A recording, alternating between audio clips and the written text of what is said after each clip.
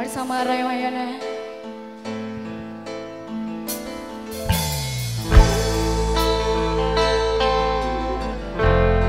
Oh jarang aku versi ini jarang sumpah.